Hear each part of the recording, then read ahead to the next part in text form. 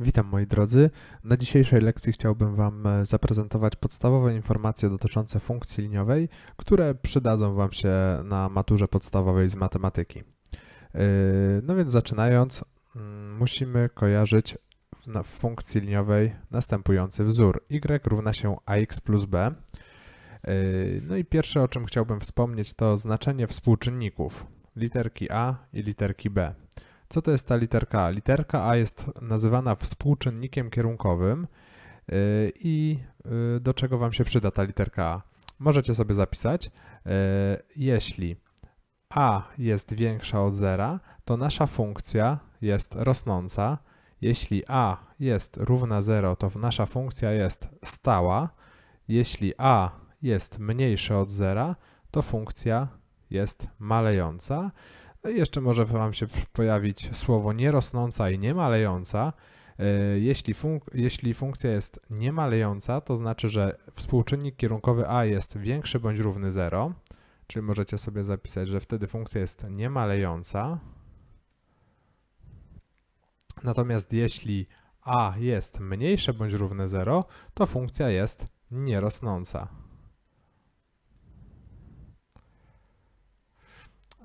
Czyli co? Współczynnik kierunkowy A odpowiada nam za monotoniczność funkcji, czyli mówi nam, kiedy funkcja rośnie, kiedy funkcja jest stała, kiedy funkcja maleje, ewentualnie kiedy funkcja jest niemalejąca oraz nierosnąca.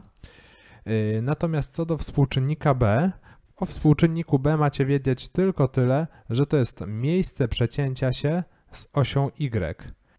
Czyli mając przykładowy e, wykres e, funkcji liniowej i wiedząc, że oś y jest tą pionową osią, a oś x e, poziomą, powiedzmy, że to jest jakiś wykres funkcji liniowej, y równa się ax dodać b, to wy macie kojarzyć, że tutaj ten punkt, druga współrzędna tego punktu to właśnie jest b. Czyli gdyby Was zapytano, w jakim punkcie, e, w jakim punkcie przecina się z osią y e, nasza funkcja, to to się zawsze przecina w punkcie 0b. 0, no bo punkt, punkt składa się z dwóch współrzędnych, współrzędna x i współrzędna y. I na osi y pierwsza, pierwsza współrzędna zawsze będzie równa x, natomiast ta druga to będzie literka b. Dla przykładu jeśli będziemy mieć funkcję y równa się 2x odjąć 6, no to co? Musicie tutaj rozpoznawać, ile wynosi a, czyli współczynnik kierunkowy i ile wynosi b.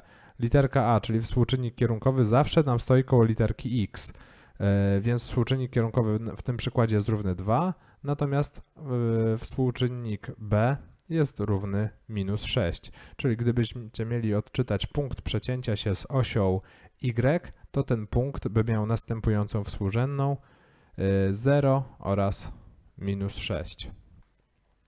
Przechodząc dalej, yy, skupmy się teraz na naszej, naszym współczynniku kierunkowym A, bo bardzo dużo zadań jest na maturze z, związanych z, ze współczynnikiem kierunkowym yy, i jedno z nich brzmi następująco. Dla jakiego parametru m funkcja jest rosnąca? I weźmy sobie jakieś 2-3 przykłady, yy, rozwiążmy. Podpunkt A. Powiedzmy, że nasza funkcja yy, będzie yy, miała następujący wzór. m minus 2, x dodać 3. Podpunkt B. f od x niech będzie równe, hmm, niech będzie m kwadrat odjąć 5m minus 6 x dodać 2m dodać 1. No i niech będzie podpunkt C. f od x równa się 6 odjąć 2mx. Y, mamy takie trzy przykłady. No i możecie dostać polecenie na maturze, dla jakiego parametru m funkcja jest rosnąca. No i trzeba sobie przypomnieć, że funkcja rosnąca, malejąca, stała, nie malejąca, nie rosnąca zależała od naszego współczynnika kierunkowego, czyli od literki A. Czyli aby dobrze rozwiązać to zadanie, yy, będziecie musieli w pierwszej kolejności ocenić, czym jest wasz współczynnik kierunkowy A. Yy, więc w podpunkcie A mamy funkcję m-2x plus b. Współczynnik kierunkowy, tak jak już wspomniałem wcześniej, stoi przy literce x, tak? Czyli współczynnik kierunkowy a to u nas m-2. Współczynnikiem b byłaby sama trójka, z tym, że do monotoniczności literka b w ogóle nam nie jest potrzebna. Więc w przykładzie a, w przykładzie a nasz współczynnik kierunkowy wynosi m-2, no i w zadaniu mamy polecenie, dla jakiego parametru m funkcja jest rosnąca, a więc funkcja będzie rosnąca wtedy i tylko wtedy, gdy współczynnik kierunkowy a będzie większy od zera. A więc podstawiając nasz współczynnik kierunkowy, m-2 ma być większy od zera. Przenosząc minus dwójkę na drugą stronę, oczywiście pamiętamy o zmianie znaku, m będzie większy od 2. E, w odpowiedziach możecie mieć po prostu taką odpowiedź. Możecie to mieć e, zapisane za pomocą zbioru lub przedziału. Więc fajnie wiedzieć, jak to zaznaczyć na osi. Zaznaczacie to, co Wam wyszło.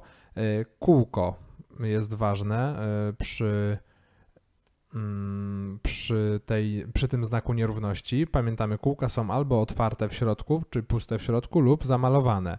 W tym przypadku będzie puste w środku, dlatego że mamy nierówność ostrą. Gdybyśmy mieli nierówność taką, czyli większe bądź równe albo mniejsze bądź równe, wtedy kółko mamy zamalowywać.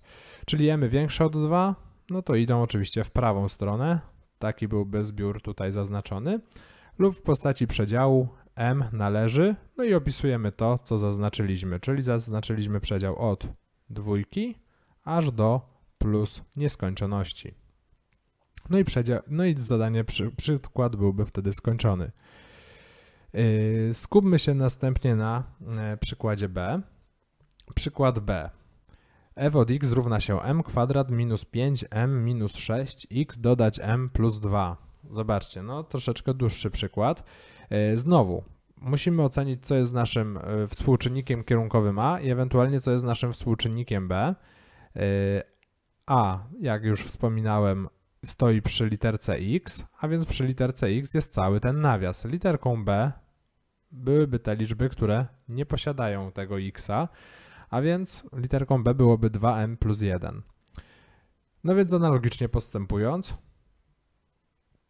nasz współczynnik kierunkowy w podpunkcie b wynosi m kwadrat odjąć 5m minus 6 i nawiązując do treści zadania, dla jakiego parametru m funkcja jest rosnąca, Wiemy, że funkcja jest rosnąca wtedy i tylko wtedy, gdy a jest większe od zera, a więc m kwadrat odjąć 5m minus 6 ma być większe od zera. No i jak rozwiązać taką nierówność? Tak, tu widzimy mamy m do kwadratu, czyli nasza jakaś niewiadoma jest do kwadratu, więc musicie w tym rozpoznawać równanie, nierówność kwadratową. A nierówność kwadratową obliczamy za pomocą delty. I teraz tak, proszę teraz nie pomylić a współczynnika kierunkowego A z, mm, z naszymi współczynnikami A, B, C, które są nam potrzebne do delty.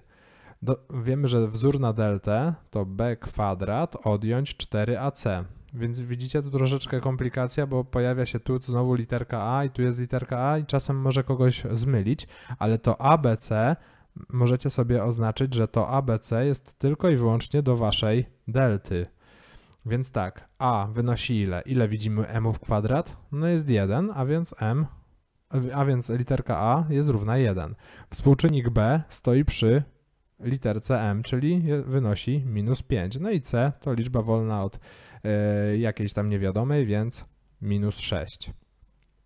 I to są współczynniki tylko potrzebne do obliczenia naszej delty.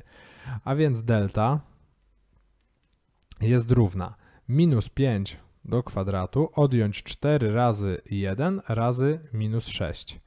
Czyli nasza delta jest równa 25. Teraz patrzycie ile macie tutaj minusów. Mamy tutaj minus, mamy tutaj minus, więc minus razy minus daje plus. 4 razy 6, 24. Nasza delta wynosi 49. E, wiemy, że wiemy już, że jeśli delta jest równa 49, czyli jest większa od zera, jeśli jest większa od zera, to będą dwa rozwiązania, będą dwa miejsca zerowe w tej funkcji, yy, więc będzie też nam potrzebny pierwiastek yy, z delty, który wynosi w tym przypadku 7, bo pierwiastek z 49 jest równy 7. I liczymy m1 i m2, czyli dwa miejsca zerowe. E, liczymy je z identycznych wzorów, jak w karcie wzorów e, x1 i x2, czyli minus b minus pierwiastek z delty przez 2a, czyli to się równa minus b, czyli 5, odjąć pierwiastek z delty, czyli odjąć 7, przez 2a, czyli 2 razy 1. Tutaj bierzemy znowu te współczynniki, które występowały w naszej delcie. Yy, czyli 5 minus 7 minus 2 przez 2 razy 1 2. Wynik jest równy minus 1.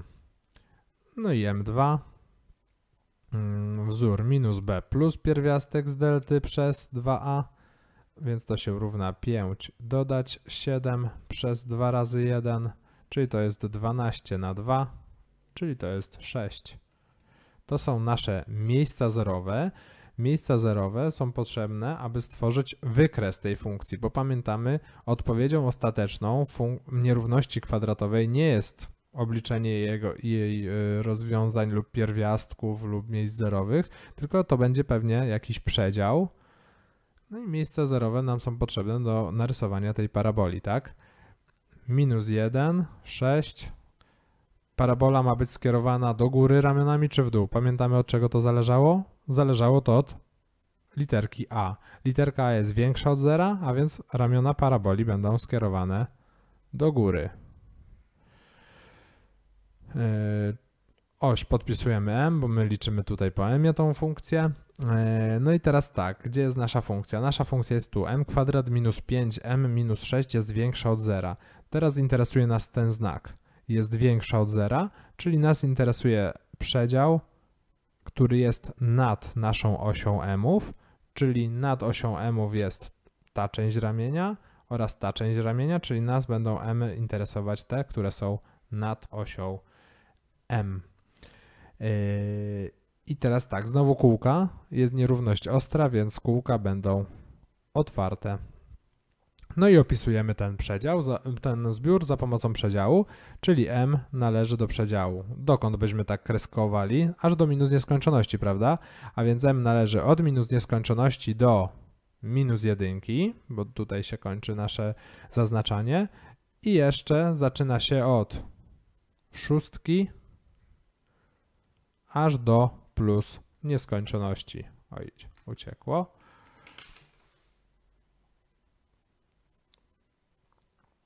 Aż do plus nieskończoności i przy nieskończonościach pamiętamy zawsze nawiasy mają być okrągłe.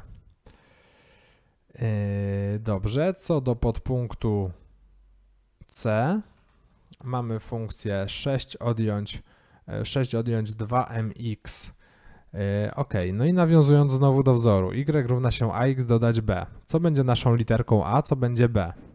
No właśnie, nie zawsze a będzie stało na początku, bo zobaczcie, wy macie kojarzyć, że literka a zawsze stoi przy xie, a więc w tym przypadku przy xie nie stoi samo m, nie stoi 2m, ale wy musicie brać pod uwagę to, co stoi przy, przy x, no i przy literce m, czyli w, tu, w tym przypadku minus 2m i to będzie wasza literka a,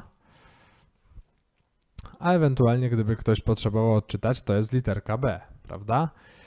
Yy, no więc pamiętamy, minus 2m to jest a, a więc wracając tutaj z przykładem c, Wiemy, że mamy zrobić, yy, mamy pytanie, dla jakiego parametru m funkcja jest rosnąca, czyli znowu współczynnik kierunkowy ma być większy od zera, a współczynnik kierunkowy w naszym przykładzie c wynosi minus 2m, czyli minus 2m ma być większe od zera.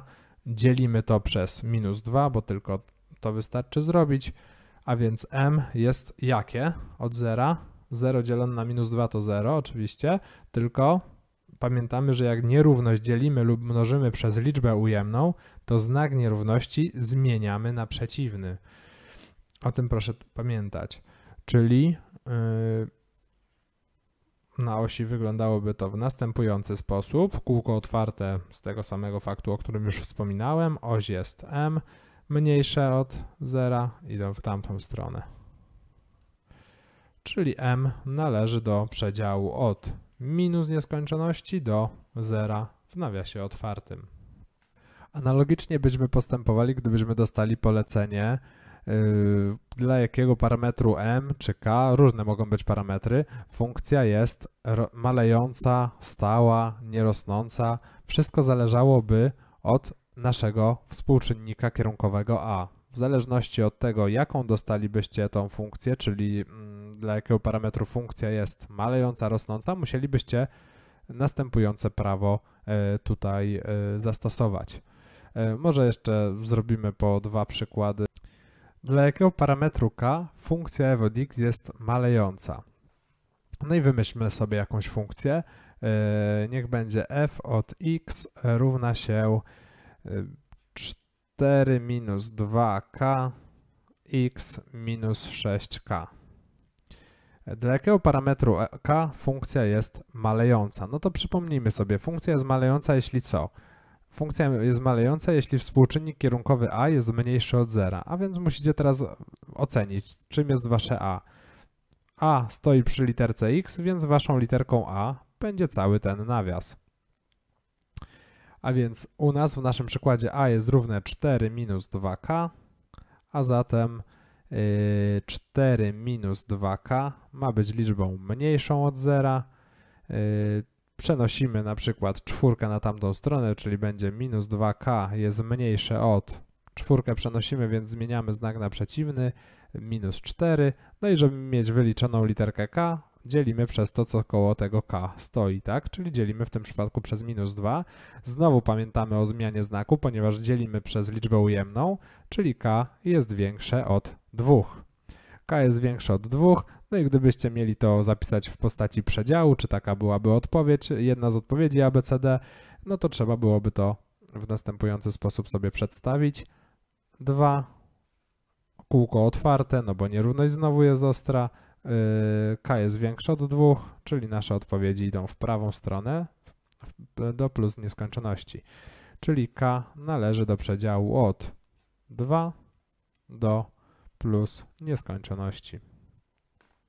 Yy, no i jeszcze ostatnie zadanie z tego typu yy, zadań. Do jakiego parametru c funkcja f od x jest nierosnąca? No to znowu przypominam, dobra, weźmy sobie najpierw, napiszmy w przykładową funkcję. Powiedzmy, że będziecie mieć f od x to się równa 4 y, plus c minus 2c plus 3x. Mamy taką funkcję i pytanie, dla jakiego parametru c funkcja f od x jest nierosnąca.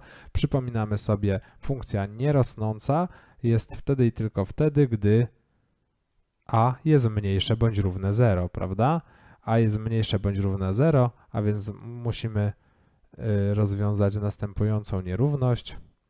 Tylko tak, najpierw trzeba ocenić, gdzie jest nasz współczynnik kierunkowy a. Współczynnik kierunkowy a stoi przy naszej literce x, a więc to jest ten cały nawias z minusem, który znajduje się przed nim, prawda? Yy, czyli tak, nasz współczynnik kierunkowy a to się równa minus 2c plus 3, a więc minus 2c plus 3 ma być liczbą mniejszą bądź równą 0. Wymnażamy sobie ten nawias przez minus 1, bo pamiętamy, że jak jest po prostu minus przed nawiasem, to tam może być minus 1, czyli minus 1 razy 2c to jest minus 2c, minus 3, bo minus 1 razy 3 to jest minus 3 i to ma być mniejsze bądź równe 0. Trójkę wyrzucamy na prawą stronę, czyli minus 2c jest mniejsze bądź równe 3, Dzielimy to przez to, co stoi koło naszej niewiadomej, czyli koło literki c w tym przypadku. Dzielimy przez minus 2, a więc c jest większe bądź równe od minus 3 drugich. Jeśli macie takie dzielenie, z którego nie znacie wyniku, to po prostu to dzielenie zapisujcie w postaci kreski ułamkowej. No i oczywiście pamiętaliśmy o zmianie znaku.